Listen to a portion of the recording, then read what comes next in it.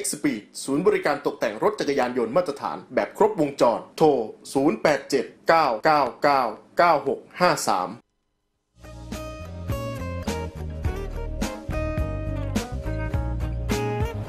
เอาละครับ ขอต้อนรับผู้ชมนะครับกลับเข้าสู่ในช่วงที่ 3 ของ Speed Rider นะครับ วันนี้กับการรีวิวรถใหม่ล่าสุดจาก Honda นะครับ CR 2 CRF 250 Rally จะเป็นอย่างไร เดี๋ยวเราจะมี เอ่อผู้ผู้ที่ขับขี่มารีวิวร่วมกันนะครับ ก่อนอื่นต้องขอขอบคุณนะครับ ผู้สนับสนุนใจดีครับโช้คอัพดีๆเหนือกว่าคำว่าหนึบโชคอัพ YSS นิตยสารรายเดือน Fast Bike Thailand คิดถึงอะไหล่แต่งคิดถึง X Speed โซ่ big bike คุณภาพมาตรฐานต้อง DID และลูก71คู่หูนักบิดคู่มิตรนักปั่นครับอะในช่วงนี้นะครับครับก็เรียกได้ว่า จะมารีวิวเกี่ยวกับตัวรถแล้ว เราก็ได้มีแขกรับเชิญมาครับผมอะสวัสดีก่อนเลยสวัสดีครับสวัสดีครับสวัสดีครับอะแนะนำตัวหน่อยครับว่าเป็นใครมายังไงเป็นอะไรบ้าง ครับผมก็สวัสดีนะครับ อ่า ผมเขมรัตน์สุธรรมวาสนะครับ ก็เป็นบรรณาธิการแล้วก็นักทดสอบให้กับนิตยสารไรดิ้งครับ อือฮึอะดีกรีวันนี้ ก็ทดสอบด้วยขี่รถไปด้วย ก็ถือโอกาสแข่งไปด้วยอ่า ครับผมก็เป็นนักแข่งด้วยนั่นเองใช่ครับด้วย ใช่ครับครับ ค่อนข้างจะ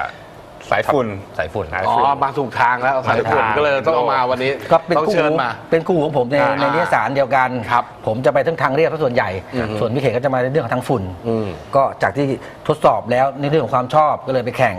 ก็มีดีกรีติดตัวมาก็เป็นเอ่อในเรื่องของแชมป์เอนดูโรที่สระบุรีครับปี 2010 ครับรวมไปถึงเป็นรองแชมป์ประเทศไทยทีมอะไรนะ เช่นกัน ชื่อทีมโอ้ยาวเหยียดเลยนะเอาว่าไป ว่ามาเอ่อ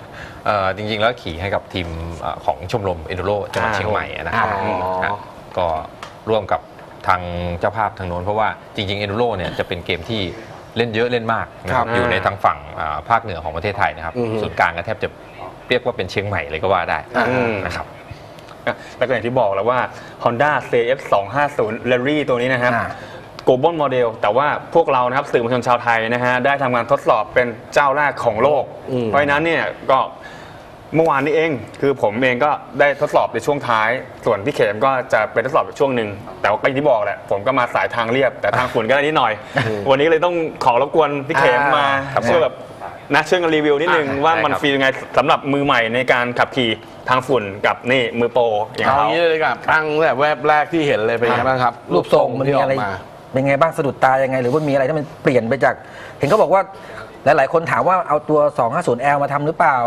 อ่า อะไรอย่างเงี้ยอะต่างกันไหมรีวิวกันเลยดีกว่ามา ก็ไม่ผิดไม่ถูกเนาะไม่ผิดไม่ถูกเพราะว่าจริงๆ แวบแรกที่เห็นเนี่ยจริงๆเราจะเห็นในภาพของเขาโครงร่างตั้งแต่เอ่อตอนที่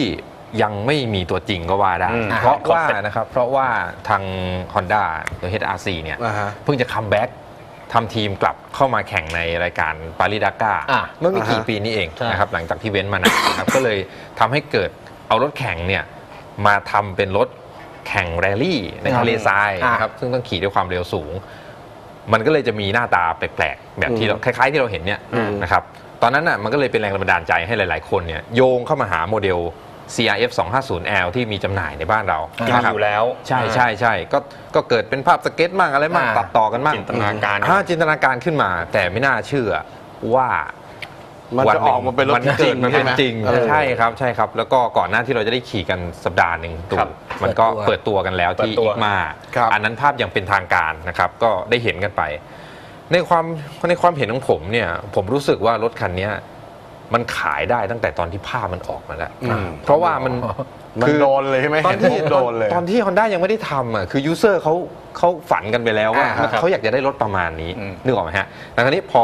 ตัวจริงมันออกมาเนี่ยผมได้ข่าวว่ามีคนเอาตังค์ไปวางดาวก่อนที่จะเหรอเปิดขายยังไม่อย่างนี้แสดงว่าเรื่องนี้แสดงว่า Honda เขาก็ฟังยูเซอร์เหมือนปกันระมาณนะอืมวันเสิร์ฟประมาณส่วนมากหนึ่งนะต้องมีเสิร์ฟเพอีราะกว่าแน่นอนอะเพราะว่ามีเสียง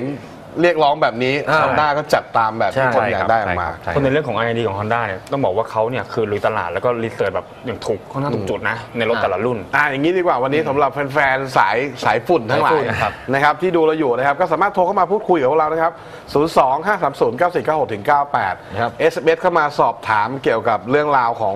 รถตัวนี้ได้ มอเตอร์ไซค์ได้หมดนะครับ รวมถึงเข้าตัว CRF นี่ด้วยนะคครัรับบเพราะฉะนั้น 482 7772 พิมพ์ 4 เป็นวรรคตามด้วยคำถามได้เลยนะครับ มาดู กลับมาคุยกันต่อเรื่องนี้ครับผม ตัวนี้เป็นไงบ้าง รีวิวให้ฟังหน่อยสำหรับรูปรูปลักษณ์แบบนี้ แล้วพอเมื่อกี้ก่อนต่อจากเมื่อกี้พอเป็นไงพอออกมาปุ้มเป็นแบบนี้ปุ๊บมีคนแบบ เรียกว่าจะไปจองกันตั้งแต่ รถจะไม่ออกเลยใช่ไหมกระแสตอบรับดี คือทาง Honda เองก็ ถือว่าปิดได้ได้เกือบจะเกือบจะสนิทแล้วอ่าเกือบจะมิดแล้วเกือบจะมิดเราก็จะเห็นภาพมาก่อนนะครับก่อนอืมก่อนที่จะได้เปิดตัวไม่นานครับไม่นานแล้วก็เป็นไปตามคาด แล้วก็อย่างที่คุณตู่บอกก็คือว่าเออของประเทศไทยเราเนี่ยโชคดีอย่างหนึ่งตรงที่ว่าฐานการผลิต CRF 250L เนี่ยครับซึ่งเป็นฐานเป็นเบส เดิมของคันเนี้ยครับมันอยู่ในประเทศไทยประกอบในบ้านเราอยู่แล้ว ใช่ใช่มันอยู่ที่นี่อยู่แล้วทีนี้ในความโชคดีของมันก็เลยกลายเป็นว่าของสื่อไทยเลยอ่าคนไทยเนี่ยก็จะได้ใช้ได้ขับขี่เป็นเจ้าของเป็นชาติแรกของโลกนะครับแล้วก็สื่อไทยได้ขี่เป็นชาติแรกของโลกเหมือนกันนี่ก็เด็ดหมือนเปิกัดนตัวอีกมาแล้วไปจอดเฉยๆนะใช่ครับแต่ขี่นี่คือนี่สื่อไทยนะอ่าสื่อไทย แล้วก็เนี่ยต้องบอกว่าเป็นรายการแรกของโลกรายการแรกเอ้าเออใช่ใช่ใช่ใช่จริงนะจริงนะนี่รายการแรกของโลกนะครับที่เอา Honda CRF 250 Rally มาโชว์ครับใช่ป่ะเออ เอาละ เพิ่งทดสอบเมื่อวานเลยนะ วันนี้มาอยู่ในรายการตัวเป็นๆมาเลย ต้องขอบคุณนะครับสำหรับบริษัท AT Honda อ่าก็ขอบคุณกันไป มากลับมาที่ตัวรถครับ พอได้พอไปเจอตัวจริงแล้วเป็นไงเออพอไปที่เป็นไงงานเห็นแล้ตัววจริงเจอตัวจริงใช่ไหม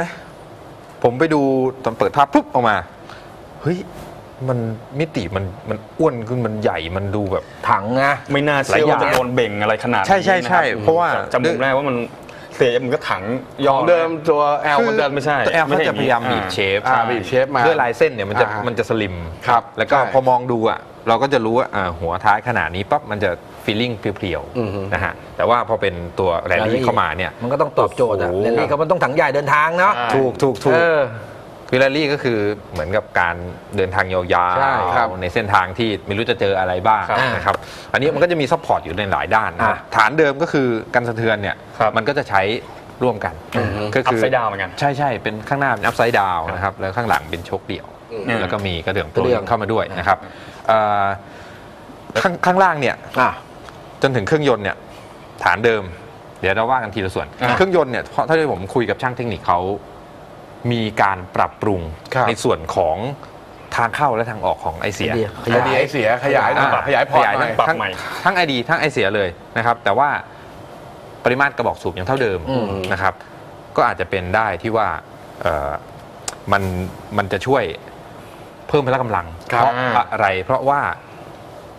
น้ำหนักรวมของรถคันเนี้ยมันเพิ่มขึ้นด้วยอ๋อ นะครับ จาก หลาย ๆ ส่วนที่ที่บอกว่ามันอ้วนขึ้นเนี่ยใช่มันใช่ส่งผลให้น้ำหนักมันมากขึ้นด้วยใช่ครับประมาณ เขาก็เลยมีการ10ปรับโลมั้แต่งงเครื่องใช่ยนต์ขึ้นอย่างที่ไปผมแจ้งไว้ในเบรกแรกไงว่าผมทราบมาว่ามันหนักกว่า CRF 250L มัน10กิโลใช่ครับ แต่ด้วยความที่อัตราเร่งมันดีขึ้นอะอืมมันทำให้รู้สึกว่ามันไม่หนักใช่ ผมมีความรู้สึกงั้นอะเดี๋ยวขออนุญาตตอบ SMS นะครับก็คือสำหรับราคารถคันนี้นะฮะ ตัวนี้เป็นตัวตัวแต่ง เป็นตัวแต่ง H2 Top option Full option ของอ่า H2C H2C นะครับ ราคาเต็มของคันนี้จะอยู่ที่ 1 8 4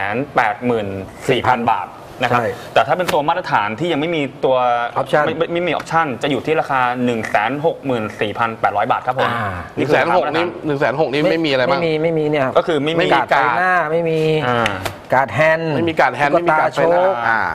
บังท่อแคปราแล้วก็อ่า ตัวกันกาดแข้งประมาณนี้ ซ้ายขวา แล้วก็ชิวหน้าถ้าตัวมาตรฐานจะเป็นชิวชิวชิวใสชิวใสครับผมธรรมดา แต่อันนี้จะเป็นชิวชิวสโมกสโมกสีชื่อดำแต่งชื่อแต่งอ่าแล้วก็ตัวบังโซ่ ด้านนี้อาจจะไม่เห็นคือมีบังโซ่บังโซ่มีบังโซ่ด้วยเป็นมีบังโซ่อลูมิเนียมแล้วก็อืมแล้วก็สติ๊กเกอร์ที่เห็นเป็นเป็นลายพิเศษ ทองๆลายนี้ลายนี้ เป็นลายแบบลายฝุ่นแตกๆออกมาอ่า อ่าเนี่ยวอร์มแฮนด์พวกเนี้ยใช่หมดเลยอะนะครับ ตอบเอเมก่อนเผื่อว่าจะมีคนอื่นมาถามเอสเต่อไปหรือว่าจะได้ โฟนอินครับก็มาถามเรานะครับอะพี่เข็มเล่าต่อครับผม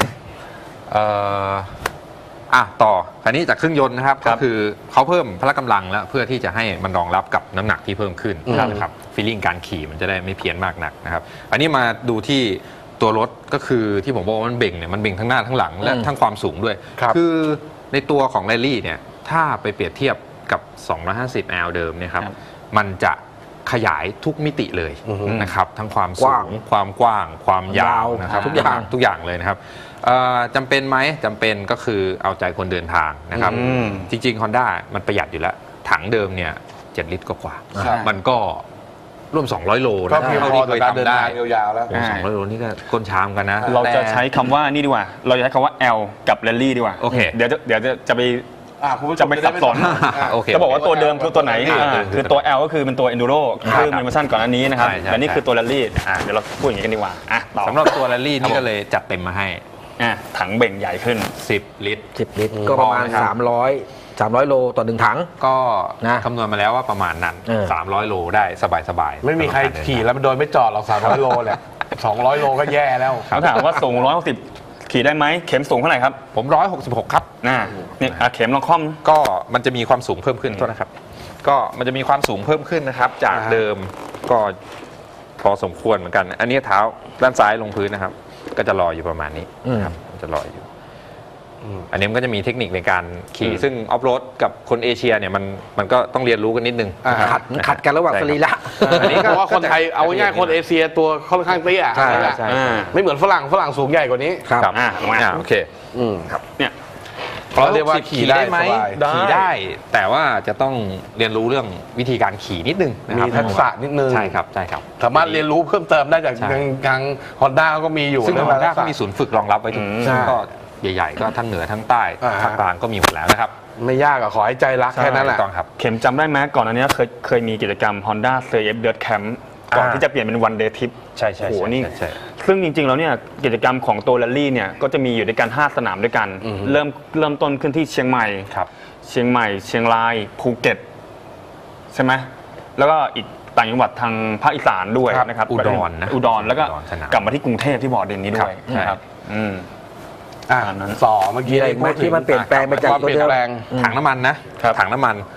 ถังน้ำมันเนี่ยที่บอกว่ามันขยายความจุเพิ่มเนี่ยครับ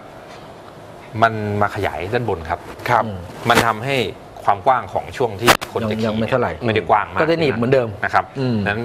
กระชับเหมือนเดิมใช่ใช่มันก็เลยจะดูแบบเหมือนกับด้านบนถังเนี่ยมันจะสูงอ้สูวนงอืมอ่าแล้วมีก็โหนกขึ้นมาประมาณเนี้ยมีโหนกขึ้นมาอ่ามีโหนกขึ้นมา แต่ผมว่า จากดีไซน์ที่มันมันมีไอตัวแฟลิงข้างบนเนี่ย อ่าฮะมารองรับกันพอดีดีนะอ่ามันต่อมันเนื่อง มันมารับกันได้ก็พอถึงดี บอกไงว่าที่มันอ้วนออกมาก็เพราะตรงนี้แหละนั่นแหละ ใช่ใช่ไหมใช่เพราะว่าถังมันเสริมขึ้นบน แต่ว่าถ้าถ้าปล่อยเพลียวไปมันก็จะเป็นดูแบบก็ถังก็โดดโดดใช่ ก็เลยแฟลิงก็เลยออกมาออกใช่รับก็เลยพอดี ทำออกมารองรับก็ดูให้อวบนิดนึงอืม อ่าคืออารมณ์แบบว่าเหมือนกับรถ Dakar นะ ประมาณนั้นก็เขาบอกเป็นเป็นมินินะใช่เป็นตัวนี้มินิตัวนี้ให้อารมณ์ ให้อารมณ์ ถังสปอร์ตรู้สึกมันได้เป็นรูปแบบของสปอร์ตไปแล้วใช่นะครับเปิดของฝาถัง แอลเนี่ยมันจะเป็นเหมือนมันเป็นเป็นนูนเรียกว่าอ่า ฝาเกี่ยว มาวางไม่อ่านเหมือนรถวิบากทั่วไปอะมันเรียบฝาร้อยลอยๆอะาอันนี้เป็นฝาแบบสปอร์ตนั่นเองคือถ้าเป็นไขกุญแจ ถ้าเป็นฝาพลาสติกเนี่ยมันก็จะดูคล้ายๆกับรถมอเตอร์คอร์สรถอ่าแข่งคือจะไปนอินี้งทางทางฝุ่นเยอะหน่อยแบบทางการแข่งขันเยอะไปใช่ใช่แต่นี่คือให้การใช้งานด้วยใช่นะครับใช่ใช่อะขออนุญาตตอบคำถามก่อนว่า ครับ ที่ศูนย์โชว์หรือยังครับ อย่างจริงก็คือจะวางวางแผงวันที่วางแผง18 วางแผงวางแผงวางจำหน่ายฮะวางจำหน่าย วางจำหน่ายฮะขายจริงอะเออ วันที่ 18 นี้ครับวันที่18นี้ 18พฤศจิกายนนี้นะครับ อุ๊ยนี่วางวางขายก่อนเปิดตัวที่ Motor Ex Expo นะอ่า วางขายก่อนวางขายก็ก่อนตามโชว์รูมน่าจะมีให้เห็นเลยให้เห็นแล้ว 18วันที่18 วันที่ 18 18 นี้นะครับ ถ้าอยากเห็นตัวจริงกว่านั้นก็มานี่เลยครับ ที่สตูเราตอนนี้รถจอดอยู่นี่ ใช่เดี๋ยวได้จะข่าวว่าไดมิเตอร์ของจานเบรกนี่ขยายปะครับใหญ่เดขึ้นมิเตอร์โตจะขึ้น จะโตขึ้นกว่า ตัว CRF เยอะไหม 250L เอ่อด้วยขนาดเนี่ย จริงก็ยังไม่ได้ไม่ได้ไม่ได้วัดนะแต่ว่าดูแล้วแตกต่างเห็เพนราะว่าแล้วด้วยมองรูก็ปเห็แบบนแล้วว่ามันรูปใหญ่แบบขึ้นของกว่าเดิมรูประมาณแบบของ300ถึง320 ก็ประมาณเนี้ยเพราะมันนิดๆหน่อยเป็นแนวแบบว่าเบรกลิ้งใส่โพสติ้งพินด้วยนะครับอ่ามัมันก็เลยดูเห็นความแตกต่างอย่างชัดๆเจนครับมันสปอร์ตขึ้นอะมันผสมหลาย ๆ อย่างอะใช่เนอะใช่ครับทั้งลายอยากแบบมอเตอร์ครอสทั้งมี floating แบบเออ super super sport อะไรเงี้ยมันสวยดีใช่ครับผม diameter ที่มันใหญ่ขึ้นก็เขาบอกว่า เบรกได้ดีขึ้นกระชับขึ้นสั้นลงเพื่อความปลอดภัย รูปทรงภายนอกยังมีอะไรอีกฮะขาดไม่ได้เลยครับชุด fairing ชุดเนี้ยครับอ่า fairing ครับมันเป็นตัวมันเป็นอารมณ์นะมันเป็นตัวบอกเลยว่าอืมนี่คือแรลลี่นะครับครับเพราะว่ามันไล่ตั้งแต่ windshield ด้านหน้านะครับอ่าก็จะทำก็จะมีโครงด้านในตัวเนี้ยมันจะเป็นโครงซึ่งยึดทั้งไฟหน้าครับไฟหน้าโอ้ทั้งสองดวง ไฟหน้าสองดวงนะ แล้วมีเล่นระดับด้วยว่าเนี่ย ดวงหนึ่งเล็กดวงหนึ่งใหญ่ ที่หลายๆคนถามว่าตัว L ใส่ได้ไหมนี่มันตอบโจทย์ได้แล้วว่าใส่ไม่ได้ ใส่ไม่ได้แน่ ตอนนี้มันจะเป็นโครงเหล็กที่ต้องมีตัว ตัวรับจากที่คอเฟรมอีกโอ้ทีหนึ่งเชื่อมติดกับเฟรมมา อ่ามันจะเป็นขันน็อตนะ แต่ว่าไม่ใช่ตัวรับเนี่ยมัมันนจะมีมันจะเป็นอ่าใช่ มันจะเป็นมีตัวขาเชื่อมมาอืมถ้าไม่มีตัวนี้ก็ใส่ไม่ได้ก็จะลงทุนเชื่อมไหมล่ะ ก็ไม่น่าจะไม่ได้ไม่น่าจะเสี่ยงนะ จะลงทุนไหม ไม่คือน่าจะถ้าเสี่ยงคิดว่าจะดัดแปลงรถใหม่ก็ว่ากันไปใช่ไหมฮะคนไม่เกินฝีมือคนไทยนะครับ ครับ แล้วก็ตัวเรือนไมล์ก็จะขยับขึ้นมาอยู่ด้านบนแล้วครับนะครับให้ตรงนี้เห็นก็ชัดเจนทัศนวิสัยใกล้เคียงกัน อ่า อยู่ในระดับสายตาต่ำลงมานิดหน่อยนะครับ ซึ่งก็มันเป็นตัวที่คือถ้ารถมาลุกเนี้ย แรลลี่แล้วก็ adventure ครับนะจะมีรถสองประเภทที่ใช้ประมาณนี้นะเรืคอรันบใหม่ก็ล้ำดีนะฮะนั่นนี่เป็นดิจิตอลใช่เป็นดีต้องใช่ไหมอะเปิดซื้อกุญแจได้ไหมดูโชว์หน่อยอ่านะโชว์หน่อยครับกล้องเห็นไหมอะไหนมาดูหน่อยว่าเรือนไม้ที่เราว่าเมื่อกี้เป็นยังไงปิดใหม่ไฟก็ออกนะ เป็นมาตรฐานแล้วอืมอ่าเดี๋ยวอีกทีหนึ่งก็ปิดแล้วเปิดใหม่ได้ครับอีกได้ทีครับหนึ่งอะนี่นะครับต้องบอกว่าเรือนไม้ล้ำมาก นะครับกับ CRF ตัวนี้ อะเดี๋ยวมาดูที่เรือนใหม่กันนะ แล้วก็เมื่อกี้ด้วยด้วยข้างบนด้วยอะดูเรือนไม้ก่อน นี่เรือนใหม่นะครับ เปิดก็ดิจิตอลก็ทำงานนะครับ ก็จะบอกเรื่องของนี่อัตอัตราสิ้นเปลืองน้ำมันนะครับ ครับ ใช้น้ำมันเหลือเท่าไหร่เท่าไหร่รอบนะครับ แล้วก็เป็นการออกบอกทริปบอกระยะทาง บอกความเร็วเนี่ยมีนาฬิกาด้วย แล้วก็สัญญาณไฟ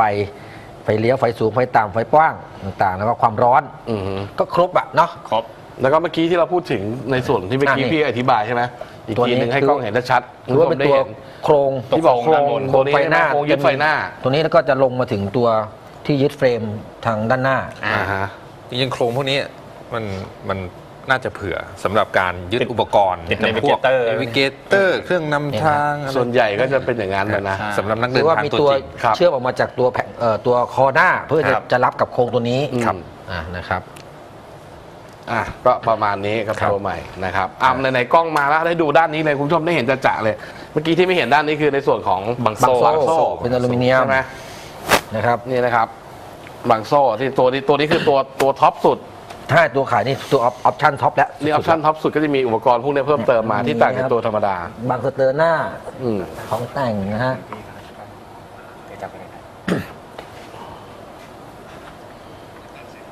นี่นะที่เห็นใช่ไหม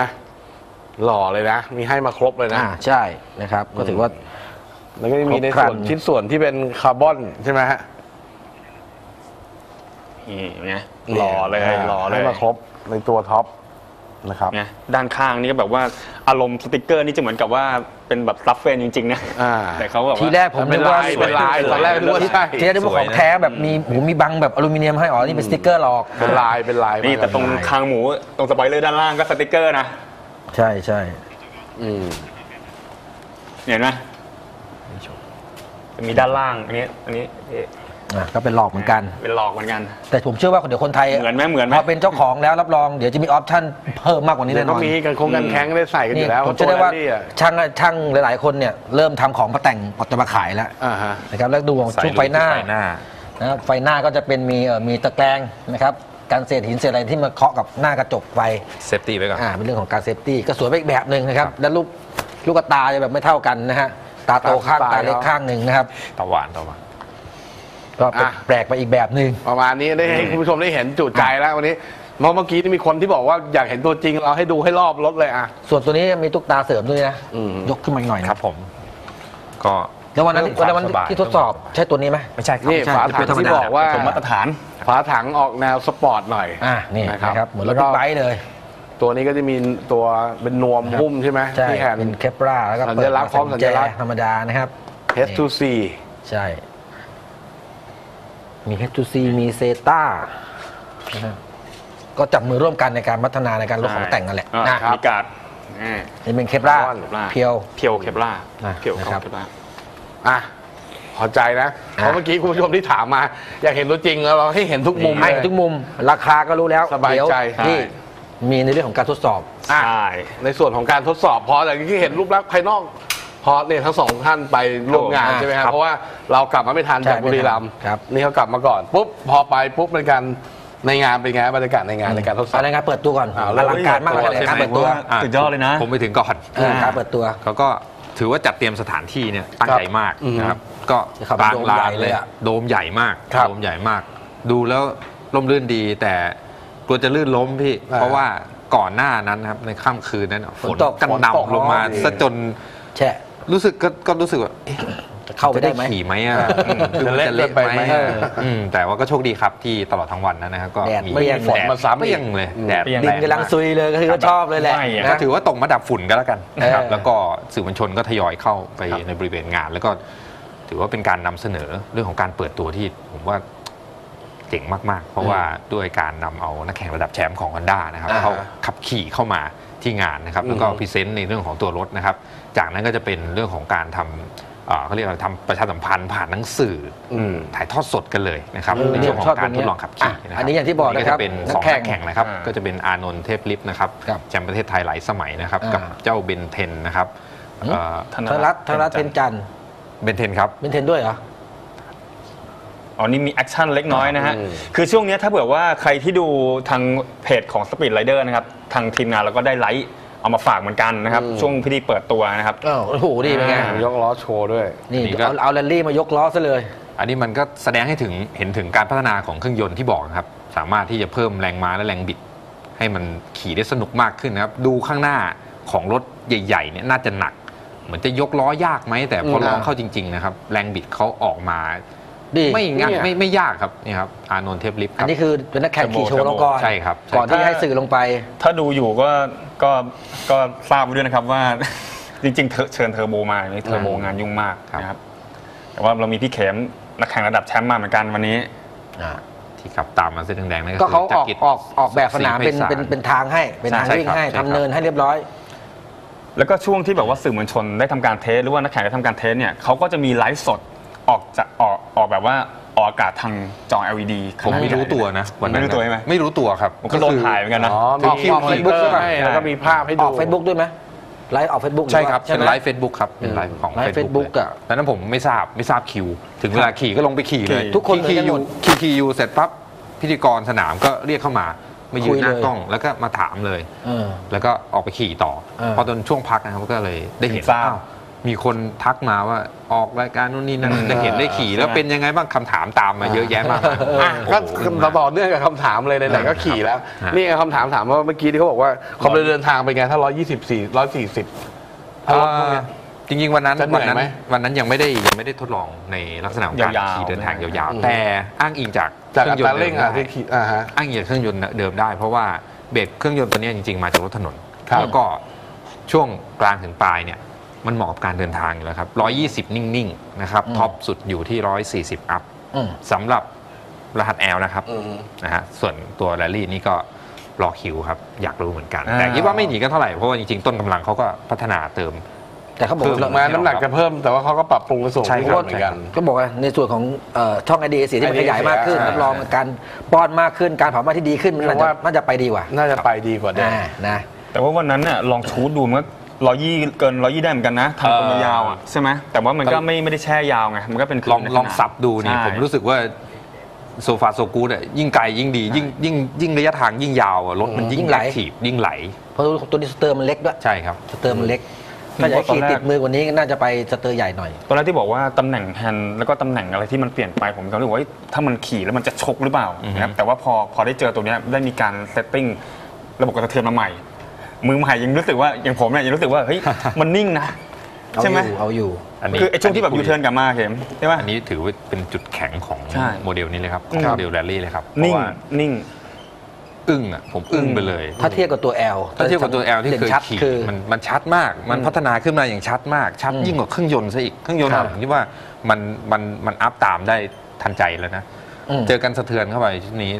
จากที่เคยโดดมาแล้วมีอาการ ผมถอดหมวก ขี่ฮิตแรกเสร็จถอดหมวกปุ๊บผมเดินไปถามเลย อืม ทำอะไรมา ใครให้คำตอบผมได้บ้าง ไปทำอะไรมา อ่า ไปทำอะไรดีมา กว่าเดิม เปลี่ยนไปเห็นได้ชัดไงก็แสดงว่าเป็นรถที่สามารถขับขี่แล้วก็ควบคุมได้ง่ายง่ายขึ้น ครับ อืม ก็คอร์สที่ขี่วันนั้นอะจริง ๆ แล้วมันเป็นคอร์สที่ ผมว่าไม่เหมาะกับรูปแบบแรลลี่เท่าไหร่หรอกอ่าฮะมันกึ่งกึ่งคอร์สกึ่งกึ่งโมโตมากกว่าอ่าเพราะว่างานคอร์ส โอ้โหทั้งโดดมันทั้งดูโยนมันเละมันเหมืมีอนเลี้ยวคอร์สมีเลย ใช่ หน้าให้เล่น มีลายหนึ่งกับเข็มที่อยู่ข้างล่างอะที่แบบเละๆเลยอะอ๋อผมลงไปรอบแรกทีหนึ่งอ่าฮะก็มองไกลอย่างเดียวฮะครับ มองไกลแล้วเดินคันเร่งอย่างเดียวครับอ่าผมเขาผ่นถามว่ามีกี่สีกี่ลายครับตัวสีนี้กี่ลายมาตรฐานครับ สีมาตรฐานครับสีเดียวครับใช่สีประจำประจำตัวเลยมาตรฐานสีเดียว แต่ตัวนี้เป็นสีพิเศษ แต่ก็มีมีลายเพิ่มเติมในตัวพิท็เศอษปก็จะเป็นลายลายคือสติกเกอร์อ่าสติกเกอร์แต่งได้ครับเดี๋ยวในเบรกต่อไปเดี๋ยวเราจะเอาโบรชัวร์มากางให้ดูอ่าว่ายังไงดีกว่านะ ได้ได้เพราะเรื่องราวของรายละเอียดมาดูลายตัว L ด้วยตัว L เป็นตัวใหม่ตัว L เปิดตัว L ด้วยวันนั้นน่ะเพราะเราก็ได้เพสคิดมาเหมือนกันนะฮะใช่แล้วก็คือตอนนี้เราก็ยืนคุยแบบดิบๆสดๆเลยนะครับอะอืม ให้สมกับเขาสาวรถให้เราเดี๋มายวแน่นอนเป็นครับเจ้าแรกบอกว่าเป็นรายการแรกเลยอยากฟังเสียงละอยากฟังเสียงละไหน ก่อนที่จะไปรีวิวที่มันลึกกว่านี้ในเรื่องของเทคนิคในการขับขี่ เข็มแขกรับเชิญอะ จัดการเลย มาผมเปิดสวิตช์ขี่ไปแล้วให้คนขี่ไปแล้วอ่าสตาร์ทขี่มาแล้วฟังเสียงกันหน่อย วิธีการเปิดก็คือสวิตช์กุญแจธรรมดานี่แหละ ครับ แล้วก็ ไม่ต้องกำเบรกอะไรเลย ไม่ต้องกำคลัตช์ก็หัวกดฉีดสตาร์ครับทง่ายง่ายๆครับ